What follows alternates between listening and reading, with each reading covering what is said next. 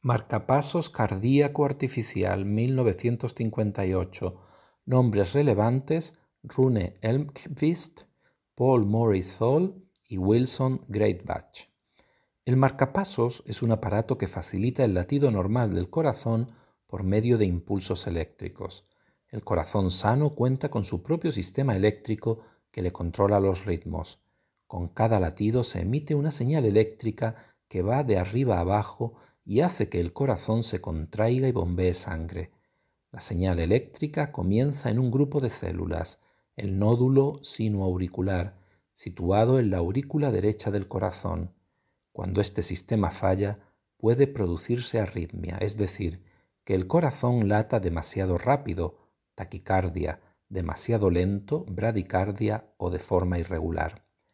Muchos investigadores han contribuido en la evolución del marcapasos, que ha pasado de ser una máquina grande e inmanejable a convertirse en un aparato pequeño, alimentado por pilas de larga duración que se implanta en el cuerpo.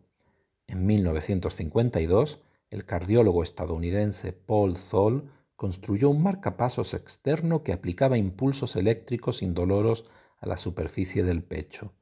En torno a 1958, el estadounidense Wilson Greatbatch y el sueco Rune Elmqvist idearon un marcapasos implantable con transistores.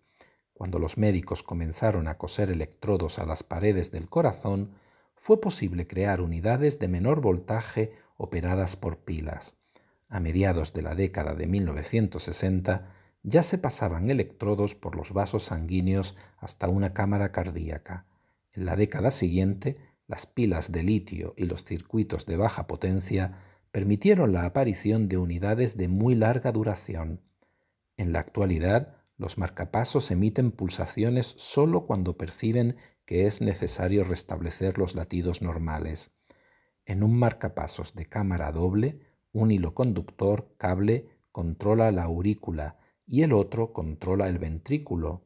En los dinámicos, la frecuencia del pulso puede cambiar automáticamente según las necesidades, si el marcapasos detecta un movimiento corporal importante o cambios en la temperatura o en las concentraciones de oxígeno disuelto. También permiten vigilar y almacenar información a la que el médico accede durante un examen.